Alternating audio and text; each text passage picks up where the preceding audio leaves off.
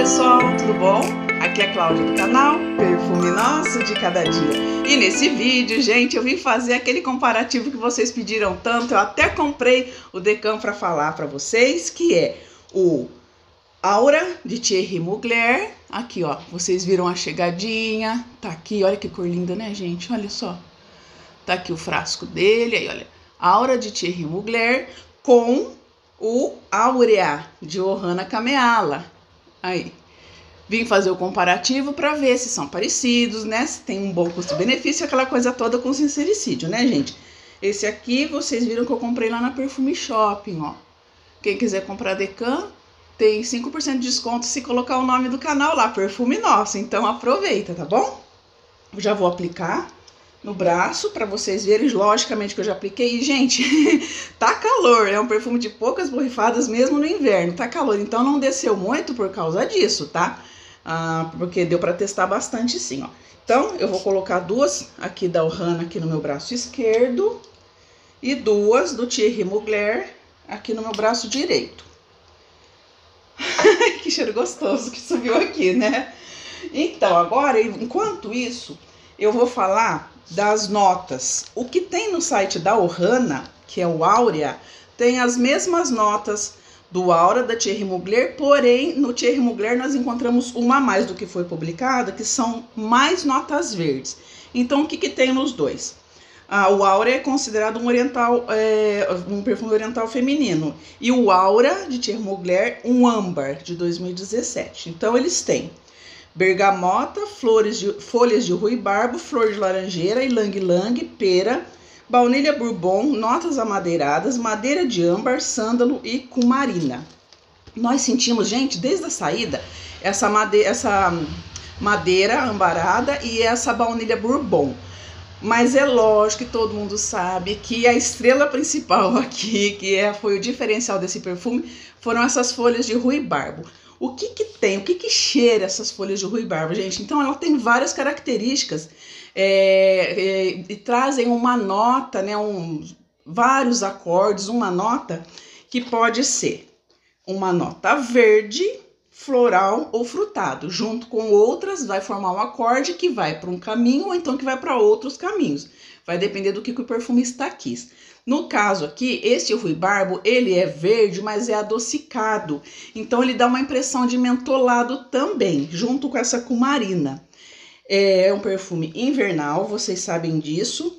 E a gente sente sim, gente, toda essa essa saída verde, com essa baunilha, meio canforado, mentolado, uma coisa diferente é, só que essa, esse mentolado não fica presente o tempo todo. Na saída dá esse estouro aí, né? E a gente sente essa bergamota, sente, sente essa floralidade. É um perfume morno, é um perfume ambarado, adocicado, gostoso, mas tem que gostar do estilo. Não é aquele verde fresco, é um verde quente, é, que envolve, é um que, que irradia, é um perfume exatamente para épocas frescas e frias. Então vamos lá. Aqui no braço, né? Eu coloquei Ohana e aqui eu coloquei Thierry Mugler. Sinto diferença, gente. Eu sinto diferença. No Thierry Mugler eu sinto ele mais doce e essa baunilha ainda é mais acentuada. No, no da Ohana eu sinto ele um, um toque, uma coisa um pouco mais fresca, um pouco mais. como se fosse um toquinho a mais de flor de laranjeira Espera um momentinho, gente. gente, eu tive que desligar de repente, porque a minha tia tava aqui e ela queria tossir, ela ficava. eu falei, pera um pouquinho, tá bom? Então vamos lá.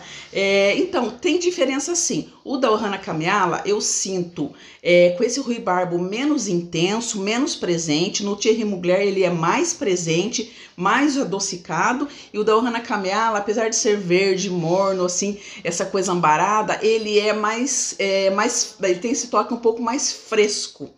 E para mim, mesmo sendo dois perfumes invernais, o da Ohana Camela a gente consegue usar um pouquinho a mais, um pouquinho a mais do que é, o próprio Thierry Mugler, que tá aqui com a com marina mais intensa.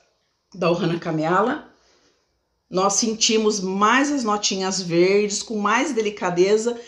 ela tirou um pouquinho a mão do que foi pesado no Aura, ela tirou um pouquinho a mão aqui. Se você acha o Aura perfeito e quer ter o seu Aura e quer usar ele com outro para economizar, uh, dá para você usar os dois juntos. Porém, tenha na, em mente que o da Ohana Kameala, ele é tem mais verde indo pro fresco e o Aura tem mais verde indo pro morno. A flor de laranjeira aqui, a gente sente mais, mas não é exagerada, tá no ponto certinho. Quem não gosta de sentir flor de laranjeira proeminente pode é, é, ter o da Ohana sem sentir aquele, aquela coisa assim que às vezes as pessoas têm uma certa repulsa. Sem problema nenhum, gente, não é a flor de laranjeira proeminente. Em termos de é, desenvolvimento do perfume, em termos de, de fixar Sabe, gente, é, é uma coisa.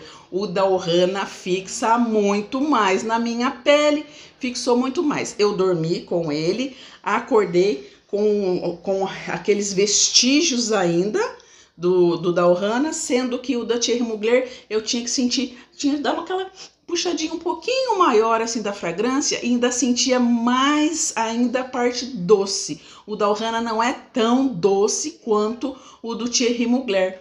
Então, é para mim, para minha percepção, eu prefiro, prefiro este da Ohana e assim como eu preferia o Honora da Terra, né, entre o, o original e o e o contratipo. Mas eu não estou dizendo que o original seja um perfume ruim, não é isso, é que para o meu gosto pessoal, se você acha o Aura um perfume perfeito, redondinho na sua pele, parabéns. Na minha, ele vai ficar uma cumarina, uma baunilha é, verde, um pouquinho a mais, fica uma coisa que enjoa depois de um certo tempo. E o da Ohana não, ela se mantém, sabe, num caminho mais homogêneo. É, você sabe o que esperar, você sabe que não vai desandar na parte doce, mesmo com o calor que tá fazendo. Gente, porque tá um calor. tá um calor. E eu falei, eu vou fazer, né? Eu trouxe, eu vou fazer, mesmo no calor. Tá muito mais gostoso. Eu sinto mais bergamota, mais flor de laranjeira, mais notas verdes aqui, apesar de na pirâmide olfativa publicada o da Thierry Mugler dizer que tem mais notas verdes que o da Ohana. Então é uma coisa interessante.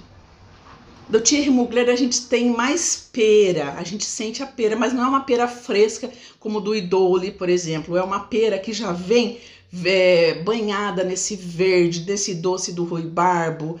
Ah, quem tem problemas com o ruibarbo do Thierry Mugler, acredito eu que não terá com o da Ohana. Eu acredito que eles conseguiram equilibrar mais, gente. Sim, conseguiram equilibrar mais achei um perfume muito mais assim, pro meu, pro meu gosto, pra minha pele, não desandou o da Ohana e desanda um pouco o da Thierry Mugler, sob essa temperatura quente de São Paulo e seca. Ah, ah, mas é um perfume bom, gente, é um perfume muito bom. Thierry Mugler, né, sabem que eu sou apaixonada pela casa, né? Sempre digo que eles não vêm ao mundo a passeio, ele não veio, não veio uh, sobre ser bomba, sobre ele irradiar. É um perfume de que ele tem um poder de radiação médio. Na primeira hora ele vai irradiar sim, tanto um como o outro. Depois eles vão dando uma caidinha. A fixação é que tem aí o diferencial mesmo. O da Ohana fixa muito mais do que o próprio Thierry Mugler, gente. e o que, que a gente vai fazer, né? O que, que a gente vai fazer? Que bom, que bom. Se você tem o seu e acha que o seu tá muito verde, muito doce, a baunilha tá proeminente demais, esse cumaru não deu, cumarina não deu certo, tá um pouquinho exagerado, dá para você usar com o da Ohana e quebrar um pouco esse doce, porque o dela tá mais redondinho nessa parte verde, entre aspas, fresca que ele tem. Será que deu para entender, gente?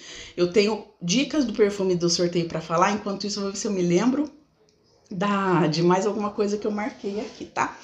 Então vamos lá. Tem dica do perfume do sorteio, gente. Então, olha lá. Este perfume do sorteio, ele é, tem, é uma linha toda que ele é um flanker, né? E ele não tem esta linha toda, não tem, ele é todo dedicado entre aspas ao mercado feminino. Ele não foi, não tem o seu lado masculino. Ah, vamos supor, né? Temos caiaque, temos caiaque feminino e temos caiaque masculino. Ah, do a linha essencial, temos a linha essencial feminina e a linha essencial masculina. Este perfume importado só tem a parte feminina, a linha feminina, não tem a linha masculina. Vão juntando aí que logo vem mais dica, tá bom? Deixa eu ver se eu me lembro de mais alguma coisa. Se inscrevam no canal, tá aqui, gente. Olha aqui, olha, o canal Perfume de Cada Dia. Temos vídeos todos os dias às 20 horas. Quando dá algum probleminha com o YouTube, sai um pouquinho atrasado, mas sai. E o Claudinha responde nas madrugadas. Às 11 horas tem o nosso vídeo agenda, onde você fica sabendo tudo que vai acontecer em 30 a 40 segundos, tudo que vai acontecer no canal naquele dia. Todos os dias, 11 horas e às 20 horas, tá bom? Ai, gente, deixa eu ver. Acredito que era só isso. Deem uma olhada nos links aí, aí embaixo, que tem parceria com a Ohana Camiala, você ganha 12% de desconto, coloca lá no cupom, na parte final da compra, perfume nosso, e você vai ganhar os 12% de desconto. Tá lá a musiquinha, gente! Tem que cantar mesmo, né? Tem que cantar porque 12% de desconto é dinheiro. E tem os outros links aí também, as pessoas que eu vou divulgando e todos os detalhes aí também para compra, para para o leilão, para o sorteio do importado. Então, vamos lá, gente. Tem também agora a, a, a aba Seja Membro, aqui não está escrito. Tem também a aba Seja Membro, que o, o YouTube disponibilizou. Aproveitem aí tudo que o YouTube oferece, tá bom? Então, um abração para todo mundo. Qualquer dúvida, escreva embaixo. E até o próximo vídeo do canal. Nosso de cada dia.